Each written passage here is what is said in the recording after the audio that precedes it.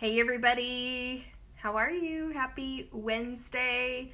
Super excited for today's subject, even though it might make some people feel uncomfortable. I'm a boy mom, so I can talk about this subject. and I'm also a health coach, and so I always try to bring down those walls with people and let them know that this is a subject that really shouldn't be taboo.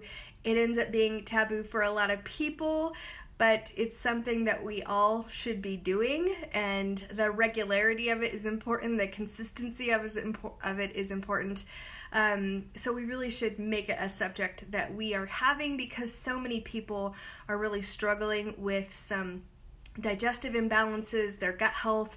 You know 70% of our immune system comes from our gut and that often will impact our ability to have um, regular bowel movements per day. Yep, we're going to go there. We're going to talk about our bowels. And so, you know, it's um, a lot of people don't realize the regularity and the consistency that's supposed to take place with our bowels. A lot of times it has to do with the quality of our food. Uh, we are very heavily processed in our North American Western diet, and that processed diet takes away a lot of our key vitamins, minerals um, that give us the ability to have an environment that is ultimately doing its job, which is having a meal. And then after we have that meal, we should be eliminating that meal. That's what ideal elimination is. So we should eat and poop. Uh, and that should be happening three times per day. They should be formed, they should be snake like.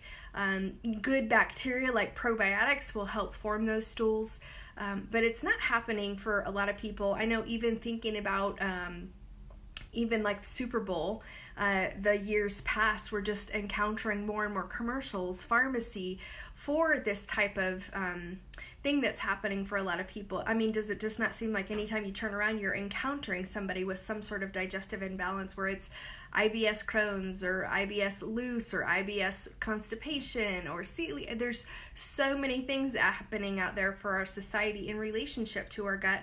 We are severely, severely compromised, and a lot of times it's just a matter of getting some key uh, minerals back into our diet. Things like magnesium and sodium bicarb and vitamin C. Those are all types of things that make the environment within our digestive system friendly so that when we are bringing in that food intake, our body is metabolizing it, breaking it down. But what happens is, is we end up with a very acidic environment within our immune system.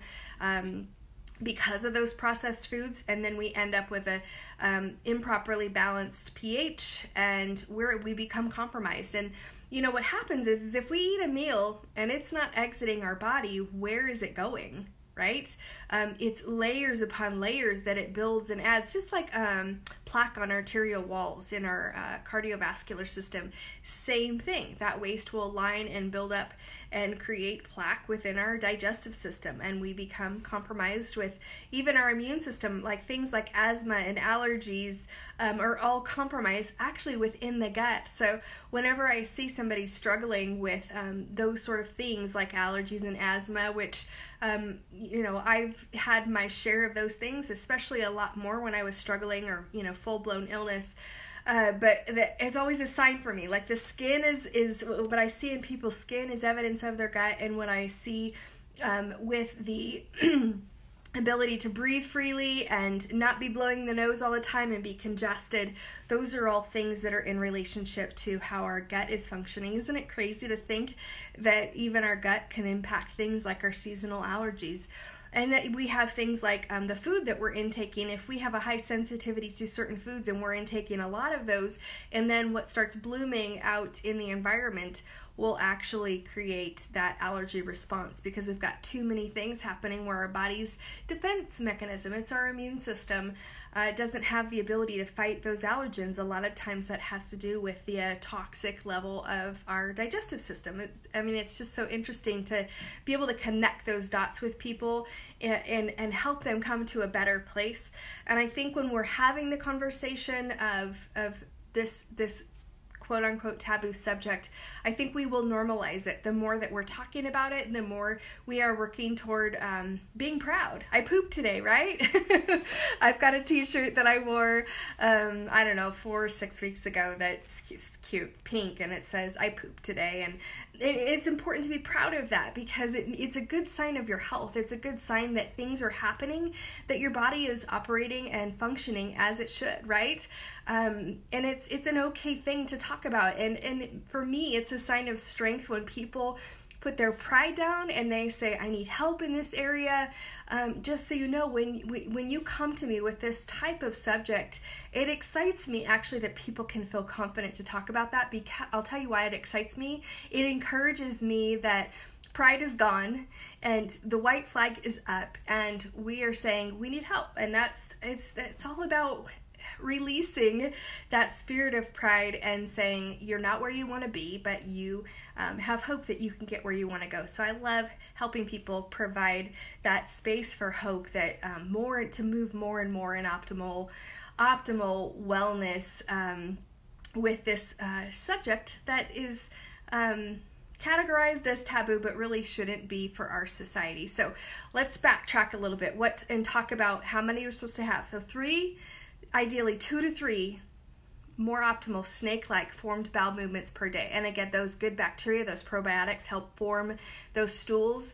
Um, flaxseed is also a real good um, form of fiber that helps um, strengthen and, and get the solidity to those stools. We don't want them too hard, but we don't want them loose as well because that means that we're not absorbing our nutrients. If we've got a sign of a, you know, if we've got looser bowels happening, something is happening where um, we're creating a space for them to be too loose and not formed, but they really should be that snake like two to three per day. And um, raise your hands and, and get excited when those things are happening because it's actually a sign of wellness. And it's important to be um, confident in where you're at and moving in more and more of that wellness. So, I hope we could normalize this subject and not have it be so taboo and make sure that more and more people are moving in that. Um, I can make some great recommendations for you for what I use, what I promote in my practice, what I give to my loved ones, the people that I know and love the most, that ha- ha- help them have the most success with this area of optimal wellness. And I actually, this is one of my wellness tips that. Um, I don't think you can see this super well, but I have a, um, a list a, a, list of wellness tips that I give to everybody um, who I work with, and um, I've got a list. I would love to be able to get it in your hands, totally free. That um, you can get access to this this um, list of some of my top, tried and true uh, wellness tips. There's it's 10, 10 on the list. I'd love to get a copy in your hands, totally free. Um, just let me know, wave your white flag, and say I would love a copy, and I will get you a copy. Actually, if you go to my website, choosingthebestyou.com, there is a little tab at the top that says free gift. If you click on that, put in your email, it will send you those wellness tips. So totally free for you um, to get you that list. And, it, and then if you have any questions on those, please reach out and let me know. I'd love to make sure you have clarity on those tips. Um, I know the landscape of wellness can be a little bit um, daunting these days because we're getting so many things coming at us on a regular basis. Eat this, don't eat that, take this supplement, don't do that supplement. I know it's confusing, but I want you to know some of these things have stood the test of time. They're no brainer things that really have helped um, so many people stand the test of time with the most optimal wellness. Um, so I feel confident in getting this list in your hands to know you won't have to worry about the um, them changing because they're so tried and true. Uh, um, tips for you for the best version of you. So, hopefully, you're having a fantastic day, my friends. Thanks for tuning in. Love you guys. Appreciate your love, support, and friendship. And we will see you next week.